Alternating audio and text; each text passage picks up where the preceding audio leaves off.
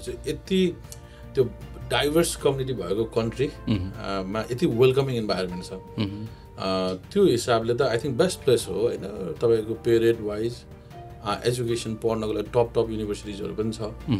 अनि तपाईँको जबहरू पाउनेदेखि लिएर सेक्युरिटीको हिसाबले स्पेसली भनौँ न अरू कन्ट्रीहरूमा सेक्युरिटी चाहिँ एकदम सेफ छ।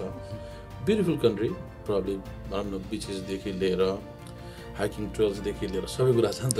त्यसैले त मलाई त बेस्ट लाग्छ है। स्टुडेन्ट्सहरूको मलाई चाहिँ बेस्ट नै लाग्छ